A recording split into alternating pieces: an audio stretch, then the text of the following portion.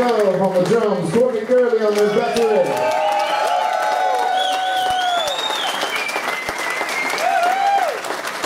Regi Oliver on the baritone saxophone. Regi Oliver. My name is Selwyn Birchwood with the Selwyn Birchwood Band. Merci beaucoup.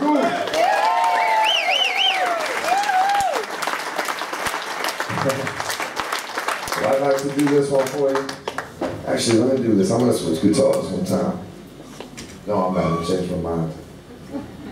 You can do that. We're gonna do, we're gonna do this one. We're gonna get a little bit funky on you. I'm, I'm very blessed to play with the guys that I do, and I'd like to let them loose on this one. This one's called Addicted.